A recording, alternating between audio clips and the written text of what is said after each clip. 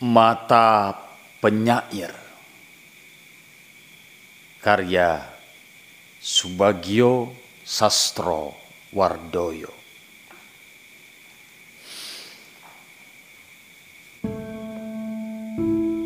Ketika terbuka jendela Terdengar hiruk pikuk kota.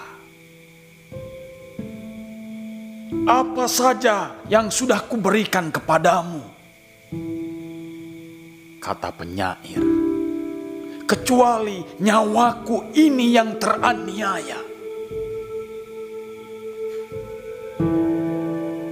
Rakyat yang miskin merangsak ke muka. Kami ingin matamu, teriak mereka.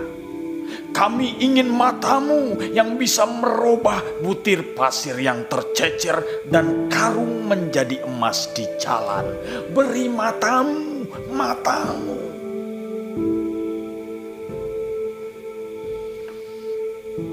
Ada yang masih membela penyair itu. Ingat, tanpa mata penyair menjadi buta. Tetapi rakyat yang putus asa tidak peduli.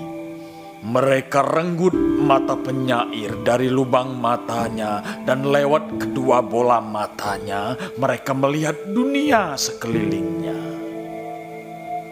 Tetapi pasir yang tercecer tidak menjadi emas. Mereka menjadi kecewa dan merebus dan melahap kedua bola mata itu, dan tidak terjadi apa-apa. Penyair yang buta itu duduk di jendela dan tertawa menghadap ke kota. Tanpa mata dilihatnya semua begitu indahnya,